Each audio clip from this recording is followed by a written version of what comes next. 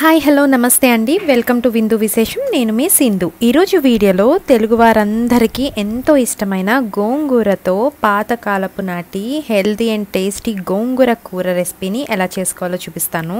ఇలా ఒక్కసారి ట్రై చేశారంటే ఇంకా ఎప్పుడు గోంగూర చేసుకున్నా సరే ఈ కర్రీనే చేసుకోవడానికి ప్రిఫర్ చేస్తారు. ఎందుకంటే హెల్త్కి హెల్త్ టేస్ట్కి టేస్ట్ అనమాట సో లేట్ లేకుండా క్విక్గా దీని ప్రిపరేషన్ ఏంటో చూసేద్దాం రండి. గోంగూర కూర ప్రిపరేషన్లోకి వచ్చేస్తే ఒక పెద్ద కట్ట గోంగూర లేదా చిన్నదైతే ఒక రెండు లేదా మూడు తీసుకొని ఇలా ఆకుని సపరేట్ చేసేసి పెట్టుకోండి. అలానే రెండు ఉల్లిపాయలు మీడియం సైజువి ఒక టమాటో ఫోర్ టు ఫైవ్ పచ్చిమిర్చి. ఉల్లిపాయలు ఇలా పెద్ద ముక్కలుగా కట్ చేసేసుకోండి. ఇవి లాస్ట్లో యూస్ చేద్దాము మనము.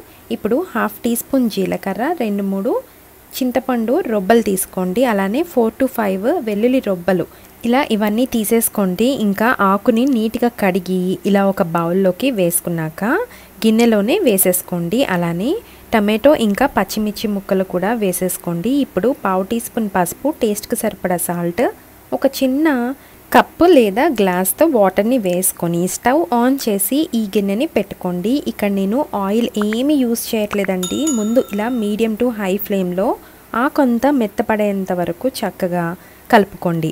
ఒక ఫైవ్ మినిట్స్లోనే ఇలా మెత్తబడిపోతుంది. ఇప్పుడు లిడ్ పెట్టేసి లో ఫ్లేమ్లో ఇంకొక five to ten minutes cook చేయండి. పచ్చిమిర్చి ఈ ఆకుతో పాటు కుక్ అయ్యి చక్కగా తింటున్నప్పుడు పుల్ల పుల్లగా చాలా బాగుంటుంది. ఇలా సాఫ్ట్గా అయిపోవాలండి. ఇప్పుడు ఈ స్టేజ్లో ఉన్నప్పుడు పెద్దగా కట్ చేసి పెట్టుకున్న ఉల్లిపాయ ముక్కల్ని వేసేసుకోండి. ఒకసారి మిక్స్ చేసేసి మళ్ళీ లిడ్ పెట్టేసి ఒక త్రీ మినిట్స్లో ఫ్లేమ్లో కుక్ చేసుకుంటే ఇలా ఉల్లిపాయ కూడా చక్కగా సాఫ్ట్ అవుతుంది. మరీ మెత్తపడకుండా తింటున్నప్పుడు క్రంచీగా చాలా టేస్టీగా ఉంటుందన్నమాట. ఈ స్టేజ్లోనే నేను ఇక్కడ ముందుగానే వేయించి పొడి చేసుకొని పెట్టుకున్నానండి. త్రీ టేబుల్ స్పూన్స్ నువ్వుల పొడి అనమాట ఇది. అయితే మీరు నువ్వుల పొడి ప్లేస్లో వేరుశనగ పొడి కూడా వేసుకోవచ్చు. నేనైతే నువ్వుల పొడి ప్రిఫర్ చేస్తానండి ఈ కర్రీకి. ఈ పౌడర్ని వేసేసుకొని చక్కగా ఒకసారి మిక్స్ చేసేసుకొని ఇప్పుడు వన్ టీ స్పూన్ కారం కూడా యాడ్ చేసి అంతా కలిసేటట్టుగా మిక్స్ చేసేసుకోండి. చూడండి ఇలా దగ్గరికి అయిపోవాలన్నమాట కూర అనేది వాటర్ అనేది లేకుండా దగ్గరికి ఎగిరిపోవాలి. ఇంకా ఇప్పుడు ఇది కాసేపు పక్కకు పెట్టేసుకొని తాలింపు పెట్టుకుందామండి. దానికోసం పావు టీ స్పూన్ ఆవాలు జీలకర్ర దంచిన వెల్లుల్లి రుబ్బలు ఒక ఫైవ్ టు సిక్స్ అలానే తుంచిన ఎండుమిర్చి త్రీ కొద్దిగా కరివేపాకు. ఇవన్నీ త్రీ టేబుల్ స్పూన్స్ ఆయిల్ ఉన్న ప్యాన్లోకి వేసేసుకొని పోపు మాడకుండా చక్కగా దోరగా వేయించేసుకోండి.